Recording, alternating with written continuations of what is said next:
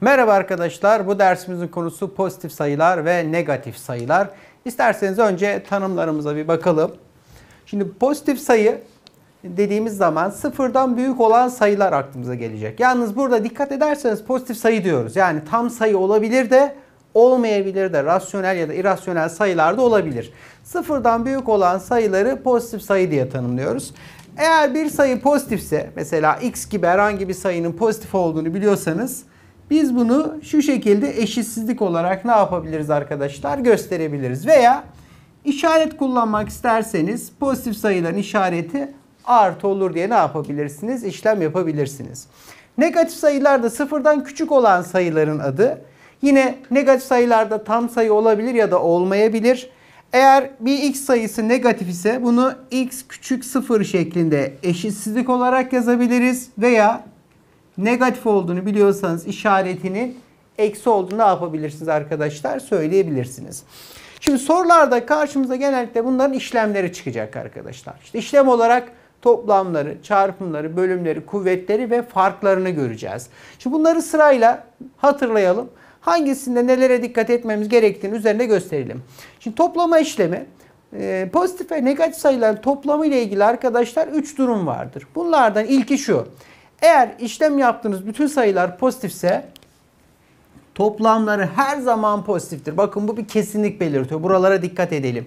Sayılar pozitifse toplamları her zaman pozitiftir. Örneğin x sıfırdan büyük pozitif. Y de sıfırdan büyük pozitif. O zaman x artı y de kesinlikle sıfırdan nedir? Büyüktür. Bu kesinlik belirten bir ifadedir. Dikkat edin. Negatif sayıların toplamı da her zaman negatiftir arkadaşlar. Yani bu da kesinlik belirtiyor. Bakın x sıfırdan küçükse y de sıfırdan küçükse x artı y kesinlikle sıfırdan nedir? Küçüktür.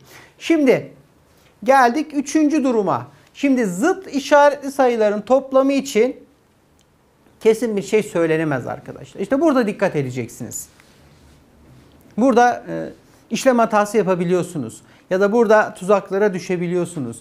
Eğer işleme giren sayıların bir kısmı pozitif, bir kısmı negatifse sayıca önemli değil. Yani sayısal olarak işte 3 tane pozitif var, 2 tane negatif var gibi düşünmeyin. Bir kısmı pozitif, bir kısmı negatifse toplamları pozitifte çıkabilir, negatifte çıkabilir. Hatta sıfır bile çıkabilir. Yani onu şöyle ifade ediyoruz. X sıfırdan büyük, Y sıfırdan küçükse X artı Y pozitif olabilir. X artı Y negatif olabilir.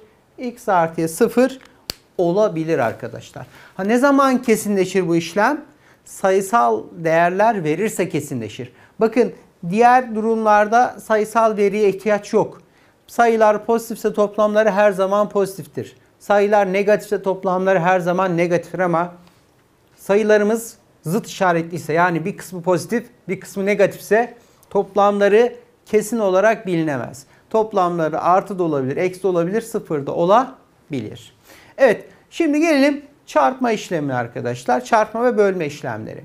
Şimdi burada da yine karşımıza 3 durum çıkıyor. Birincisi pozitif sayıların çarpımı ve bölümü her zaman pozitiftir. Yani iki tane pozitif sayı çarpsanız da bölseniz de sonuç her zaman pozitif çıkacak. Yani x sıfırdan büyük olsun. Y de sıfırdan büyük olsun. O zaman x ile y'nin çarpımı sıfırdan nedir? Büyüktür. Ya da x'in y'ye bölümü sıfırdan nedir arkadaşlar? Büyüktür unutmayın. Negatif iki sayının dikkat edin burada artık biraz sınırlıyoruz. Negatif sayılarda e, kullandığınız sayılar arttıkça sonuç etkilenebiliyor. Şimdi iki sayı için düşünelim. Daha sonra bunu kendiniz sorularda uyarlayabilirsiniz. Negatif iki tane sayının çarpımı veya bölümü her zaman pozitiftir arkadaşlar. Bakın iki negatif sayının çarpımı ya da bölümü her zaman pozitiftir. Bakın x sıfırdan küçük, y de sıfırdan küçük. O zaman x çarpı y pozitif olur. x bölü y yine pozitif olur. Unutmayalım. Evet şimdi çarpma bölme işleminin üçüncü durumuna geldik. Zıt işaretli iki sayının yani bir pozitif bir negatif sayının çarpımları veya bölümleri her zaman negatiftir arkadaşlar. Daima negatiftir. Bu da kesinlik belirtiyor. Şöyle altlarını çizelim şu kesinliklerin. Daima negatif olur. Yani x sıfırdan büyük olsun ama y de sıfırdan küçük olsun. Dolayısıyla çarpımları ya da bölümleri her zaman negatif olacaktır. Evet çarpma bölme işleminde de dikkat ederseniz hep kesinliklerden bahsediyoruz. Kesin pozitif, kesin negatif diyebiliyoruz. Üçüncü işlemimiz kuvvet alma işlemi. Şimdi bir pozitif sayının bütün tam kuvvetleri, bakın tam kuvveti diyorum. Kuvvet artı da olsa, eksi de olsa sonuç değişmez. Bütün tam kuvvetleri yine nedir? Pozitiftir. X sıfırdan büyük olsun. N de tam sayı olsun. O zaman x üzeri n dediğimiz şey her zaman sıfırdan ne olur arkadaşlar? Büyük olur. Negatif sayıların tek kuvvetleri negatif olur. Çift kuvvetleri pozitif olur arkadaşlar. Unutmayın. Eğer sayımız negatifse kuvvetine bakacağız. Kuvveti tekse eksi olur. Yani negatif olur. Kuvvet çiftse artı olur, pozitif olur. Onu da şöyle gösteriyoruz. X sıfırdan küçük olsun. N de tek sayı olsun. O zaman x üzeri n dediğiniz sıfırdan nedir? Küçüktür. x pozitif olsun, n çift sayı olsun. O zaman x üzeri n dediğiniz sıfırdan nedir arkadaşlar? Büyüktür. Yalnız burada küçük bir detayımız var. Onu da bir uyarı olarak veriyoruz. Negatif sayıların çift kuvvetini alıyorsanız. Şimdi burada parantez kullandıkları zaman işlem karışabiliyor. Şimdi eğer negatif sayılarda parantez varsa kuvvetin nereye yazıldığına dikkat edeceksiniz. Eğer kuvvet dışarıdaysa farklı sonuç veriyor. Kuvvet parantezin içindeyse farklı sonuç veriyor. Bir örnekle gösterelim isterseniz. Bakın eksi 3'ün karesini alıyoruz. Kuvveti parantez kullanıp dışarı yazmışız. O zaman eksinin karesi artı olacağı için bunun sonucu arkadaşlar 9 çıkacak. Ama benzer bir yazımda parantez kullanıp kuvveti içeri koyarsak bu şu anlama gelir. Bu kuvvet parantez içinde olduğu için sadece sayı etkiler. İşareti ne yapmaz? Etkilemez. Yani bu eksi 3'ün karesi 9. Bakın farklı sonuçlar veriyor. Yani kuvvetin dışarı yazılması veya kuvvetin içeri yazılması aynı sonucu ne yapmıyor arkadaşlar? Vermiyor. İşaret farklılığı oluşturuyor. Artı 9, eksi 9 yani farklı işaretli sayılar çıkıyor. Zaten bu başlıkta da bizim için önemli olan şey işaret. Genelde işarete dayalı sorular çözeceğiz. O yüzden işaretleri değiştirdiği için kuvvetin yerine ne yapacaksınız arkadaşlar? İşlem yaparken dikkat edeceksiniz. Kuvvet içeride mi yoksa dışarıda? Evet arkadaşlar şimdi çıkarma işlemini bir hatırlayalım. Ee, pozitif negatif sayılarda en tehlikeli olan işlem çıkarma işlemi. Toplamanın, çarpmanın, bölmenin, kuvvet alma işlemlerinin sonuçları kesin arkadaşlar ama çıkarma işleminde kesinlik biraz zor oluşuyor. Yani yorum yaparken çok dikkatli olmanız gerekiyor. O yüzden çıkarma işlemi yapacaksanız, pozitif negatif sayılar arasında fark alacaksanız, çıkarma yapacaksanız burada tavsiyemiz eşitsizlik kullanmanız. Yani e, artıdan artı çıkar, eksiden eksi çıkar gibi yorumlar yapamazsınız. Yaparsanız işlem hatası yapmış olursunuz. Burada yapacağımız şey eşitsizlik kullanmak. Peki bunu nasıl yapacağız? Mesela iki tane örneğimiz var. Bakın. X sayısı y'den küçük arkadaşlar. Şimdi bunların işaretini bilmesek de aralarındaki farkın artı mı olduğunu anlayabiliriz. Mesela şu y sayısını karşıya atarsanız arkadaşlar eşitsizliğin diğer tarafını alırsanız x eksi y olur. Küçük. E, y sayısını buraya atınca karşıda ne kaldı arkadaşlar? 0. O zaman bana şunu yorumlayabilirsiniz. x eksi y dediğiniz nasıl bir sayıdır? Sıfırdan küçük bir sayıdır. Yani negatiftir dersiniz. Bakın kesinlik oluşturabiliyoruz. Mesela a b'den küçük. Eğer ben bu a sayısını karşı tarafa b'nin yanına alırsam arkadaşlar a'yı buraya attığımız zaman b eksi a olur. Peki burada ne kaldı arkadaşlar? 0 kaldı. Peki b eksi a dediğiniz nasıl bir sayıdır? Sıfırdan büyük yani pozitif bir sayıdır. Eğer çözeceğimiz örneklerin içerisinde çıkarma işlemi varsa bu şekilde yapmamız gerekiyor arkadaşlar. Yani artıdan artı çıkar, eksiden eksi çıkar gibi yorumlar sağlıklı değil. Doğru olan yorum bu. Hocam biz burada işaretlerini bilmiyoruz. Önemli değil. Eşitsizlik kullanacaksınız. Yani şöyle de olsa mesela şöyle bir örnek de olabilir. x küçük 0 küçük y mesela. x artı y eksi ama artıdan eksi çıkar diyemezsiniz. Eksiden artı çıkar diyemezsiniz. İşlemlerinizi sayıları sağa sola atarak eşitsizlik yardımıyla ne yapmanız lazım? Çıkarma işlemini bu şekilde yapmanız gerekiyor. Evet şimdi isterseniz örneklerimizin üzerinde arkadaşlar e, bu toplama, çıkarma, çarpma, bölme, kuvvet alma işlemlerini bir görelim. Evet arkadaşlar şimdi örneklerimiz üzerinde işlemlerimizi görmeye çalışalım. Şimdi x sıfırdan küçük yani negatif, y sıfırdan büyük yani pozitif bir sayıymış. Aşağıdakilerden hangisi kesinlikle pozitiftir diyor. Şimdi şöyle seçenekleri işleme başlamadan önce bir inceleyin arkadaşlar. Yani nasıl bir işlem yapıyorsunuz? Toplama mı yapacağız? Çıkarma mı yapacağız? Çarpacak mıyız? Bölecek miyiz? Kuvvet mi alacağız? Ona göre yorum yapmanız lazım. Şimdi burada dikkat ederseniz A seçeneğinde çıkarma yapacağız. B seçeneğinde çıkarma yapacağız. C seçeneğinde toplayıp karesini alacağız. D seçeneğinde ıı, kuvvetini alıp toplayacağız. E'de de kuvvetini alıp çarpacağız. Şimdi A'dan başlayalım.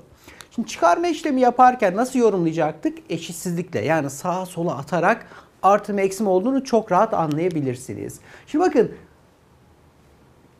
x sayısı sonuçta y sayısından küçük değil mi arkadaşlar? Şurayı kapatırsanız eğer x küçük y olacaktır. Şimdi size x eksi y lazım. O zaman atın y'yi karşıya.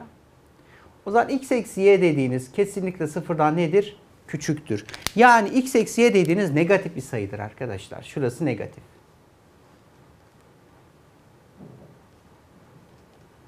Peki negatif olduğuna göre biz seçeneklerde pozitif olanı arıyoruz. Demek ki A seçeneğini artık eleyebiliriz. A seçeneği gitti. B seçeneğine bakalım. Şimdi B seçeneğinde 3y eksi 2x var. Şimdi burada biraz dikkatli olursanız kesinlik bulabiliriz arkadaşlar. 3y eksi 2x'i şöyle parçalasak olur mu? y artı 2y eksi 2x. Hatta bunu şöyle düzenlesek arkadaşlar. 2 parantezini alsak y eksi x. Şimdi biz y'nin pozitif olduğunu biliyoruz. y'nin pozitif olduğunu biliyoruz. Bu pozitif. Eğer y eksi x'in pozitif mi negatif mi olduğunu söyleyebilirsek cevap çıkacak ortaya. Peki y eksi x bakın çıkarma yapacağız. A seçeneğinde olduğu gibi şöyle düşünebilir miyiz? x y'den küçüktü. Bize y eksi x lazım. Atın x'i karşıya. O zaman y eksi x dediğiniz sıfırdan nedir arkadaşlar? Büyüktür. O zaman bu da pozitif. İki katını alırsanız iki katı da pozitif. Şimdi bakın pozitif bir sayıyla pozitif bir sayı ne yapıyoruz? Topluyoruz. E pozitif iki sayının toplamı her zaman nedir arkadaşlar? Pozitiftir. Yani burası şunun tamamı arkadaşlar pozitif olacak. Peki biz neyi arıyorduk?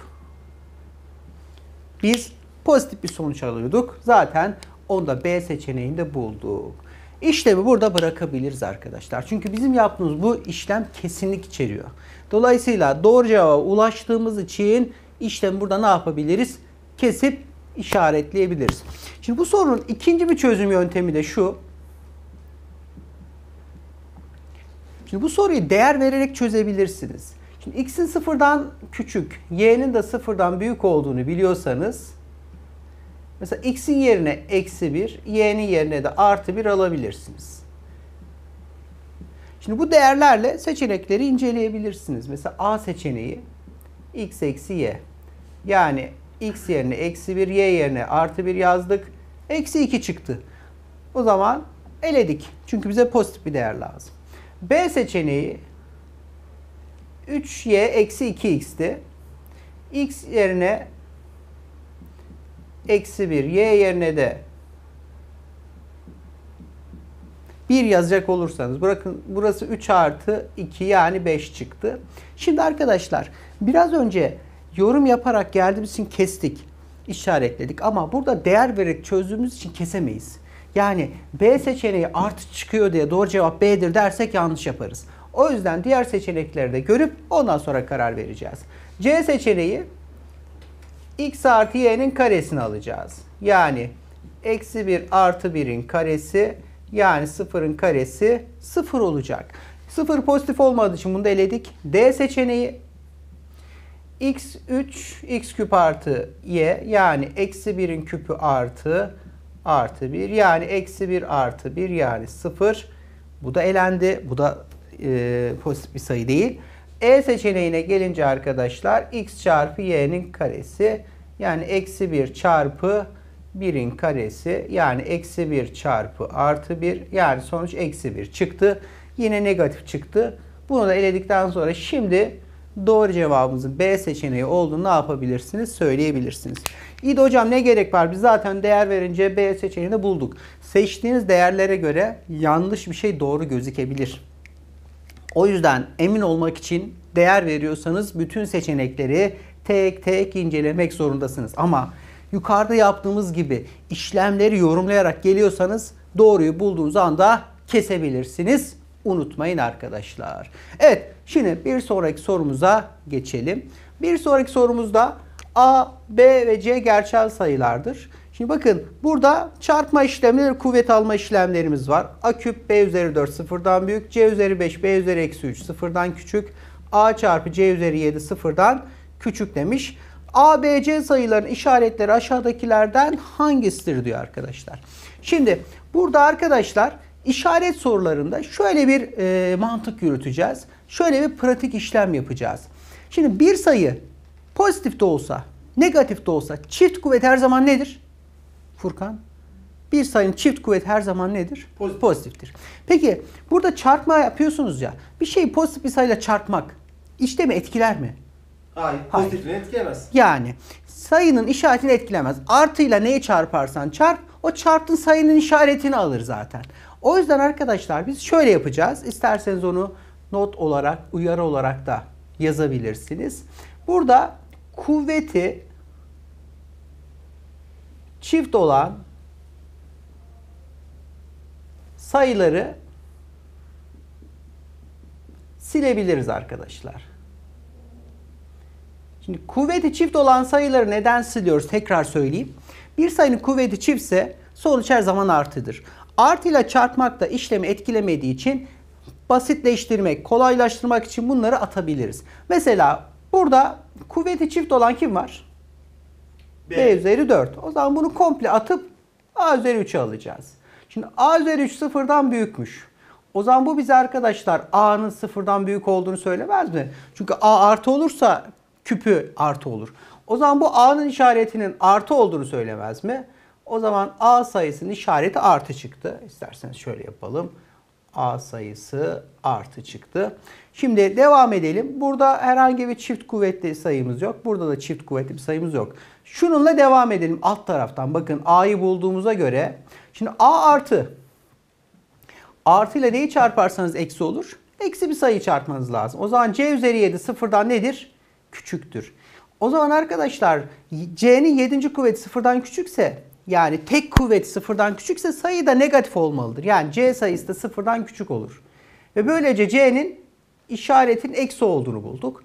A ve C'yi bulduktan sonra şimdi ortadaki ifadeyi kullanarak B'nin işaretini bulalım. Bakın C'nin işareti eksi. Burada eksinin 5. kuvveti alınıyor. Nedir o zaman burası? Eksidir arkadaşlar. Peki eksi ile neyi çarparsanız yine eksi olur. Artı bir değeri çarpmanız lazım. O zaman B üzeri eksi 3 artı olacak. Sıfırdan büyük. Peki B'nin olması gerekiyor. B'nin de pozitif bir sayı olması gerekir ki 3. kuvveti artı olsun. Yani B sayısı da nedir arkadaşlar? İşaret olarak artıdır. Şimdi bunların işaretlerini sırasıyla yazacak olursak A artı çıktı, B artı çıktı, C de eksi çıktı. Hangi seçenekte var diye bakacak olursak artı, artı, eksi A seçeneğinde bize verilmiş olmalı. Evet işaret sorularında arkadaşlar kuvveti çift olan sayıları silmek işlemi her zaman basitleştirir. O yüzden aralarında çarpma ve bölme işlemi varsa kuvveti çift olan sayıları silip işlemimizi daha kolay bir hale getirebiliriz. Evet arkadaşlar şimdi örneklerimize devam edelim. Ee, sıradaki örneğimizde A sayısı B'den, B sayısı sıfırdan küçük yani negatif, C sayısı da sıfırdan büyük yani pozitif olarak verilmiş. Aşağıdaki ifadelerden hangisi kesinlikle negatiftir diye soruluyor. Şimdi iki çözüm yöntemi kullanabiliriz arkadaşlar. Birinci çözüm yöntemimiz işlemleri yorumlamak. Benim tavsiyem birinci çözüm yöntemini kullanmanız. İkinci çözüm yöntemimiz de değer vermek. Şimdi değer verme işlemi eğer doğru değerler seçmezseniz işlem uzayabiliyor arkadaşlar. Ya da yanlış bir seçenek size doğru gibi gözükebiliyor. Yani riski de var, işlemi uzatma ihtimali de var. Ama yorum yaparsanız cevabı yakaladığınız anda kesebilirsiniz, işlemi kısaltabilirsiniz. Şimdi önce yorumla gidelim. A artı B artı C pozitif mi negatif mi anlamaya çalışalım.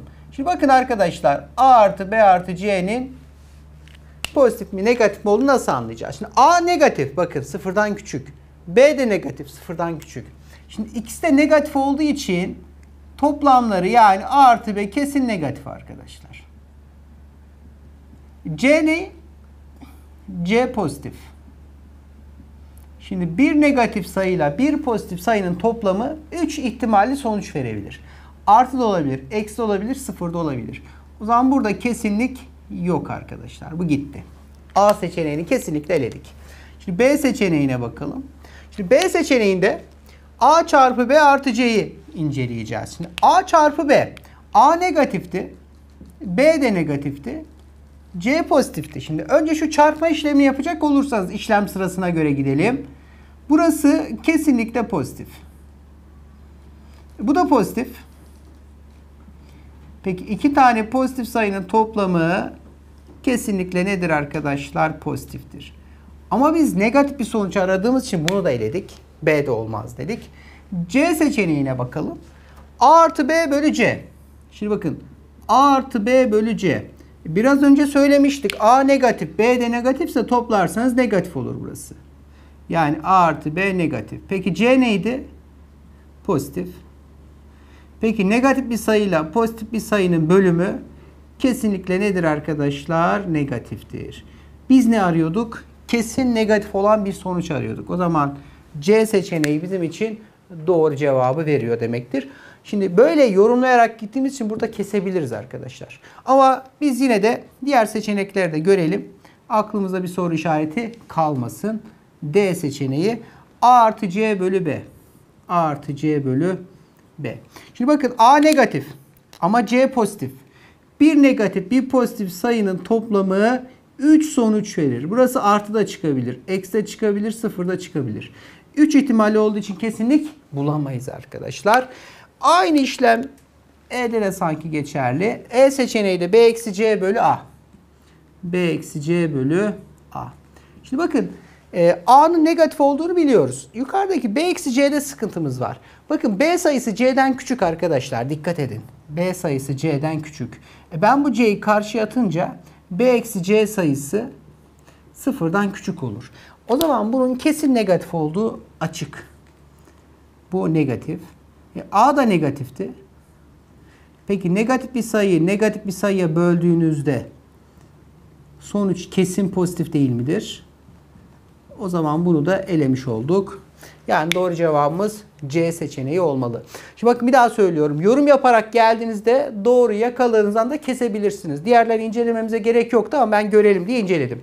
Şimdi ikinci yola gelelim.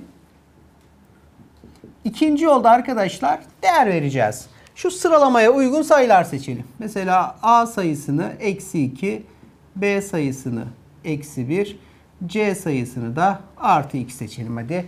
Bu üç değeri kullanalım.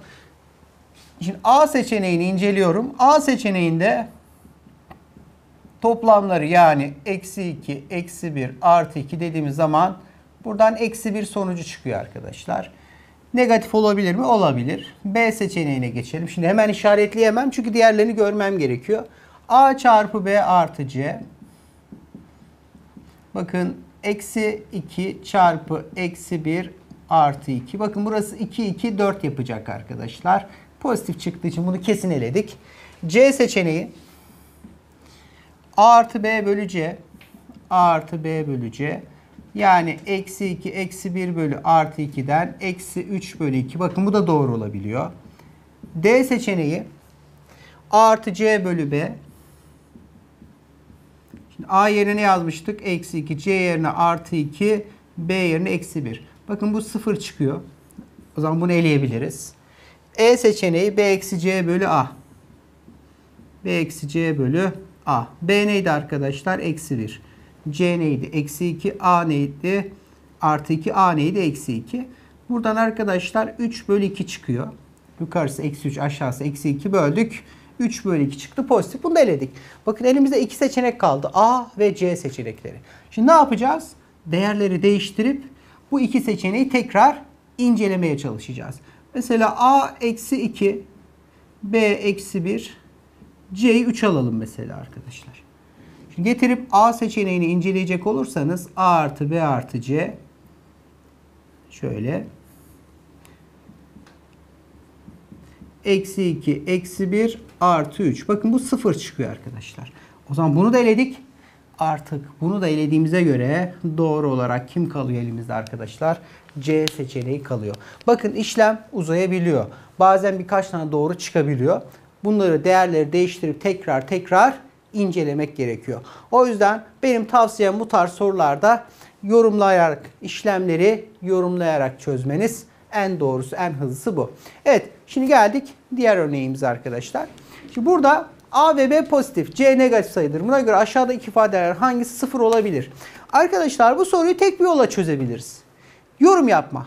Başka bir çözüm yöntemi yok. Burada değer veremezsiniz. Bakın değer vererek çözülebilecek sorularda bir sıralama gerekiyor bize arkadaşlar. Bir önceki örneğe bakarsanız eğer A B'den küçük, B sıfırdan küçük, C sıfırdan büyük diye bir sıralama vermişti. Bu sıralamadan dolayı değer verebiliyoruz.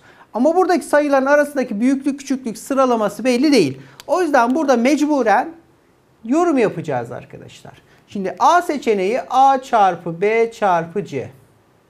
Şimdi bunu yorumlayalım. A ve B pozitif. Bakın bu pozitif. Bu da pozitif. Bu negatif arkadaşlar. Şimdi A çarpı B dediğimiz iki pozitif sayının çarpımı pozitif olacağı için pozitifle negatifin çarpımı da negatif olacak. Yani buradan sıfır gibi bir sonuç çıkma ihtimali yok. Bunu eledik. A seçeneği gitti. B seçeneğine bakalım. A çarpı C bölü B. Şimdi A dediğimiz pozitif. C dediğimiz negatif. Yukarısı negatif yapar arkadaşlar. B sayısı bu da pozitif.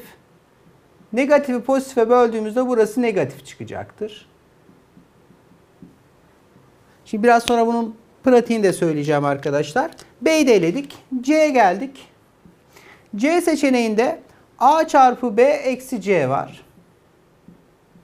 Şimdi A çarpı B dediğimiz bakın A negatif, A pozitif, B de pozitif. O zaman A çarpı B dediğimiz şurası pozitif yapar. C dediğimiz negatif.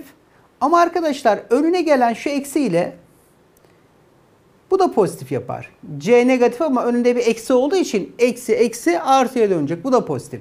E bu pozitif bu pozitifse buradan çıkacak olan işlem arkadaşlar pozitif bir sonuç verir. Dolayısıyla C'yi de artık eleyebiliriz.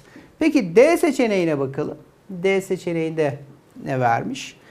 D seçeneğinde kuvvetlerini vermiş. A üzeri 4 artı B üzeri 3 C üzeri 2. Şimdi bakın A pozitif olduğu için bütün kuvvetleri pozitiftir. Bu pozitif. B pozitif olduğu için yine bütün kuvvetleri ne olacaktır arkadaşlar? Pozitif. Şu da pozitif. C negatif ama karesini alırsanız çift kuvveti aldığınız için bu da pozitif. Şimdi 3 tane pozitif sayı toplarsanız sonuç kesinlikle pozitif olur. Dolayısıyla bunu da eleyebiliyoruz. O zaman doğru kalan cevabımız E seçeneği olacak. Onu da görelim.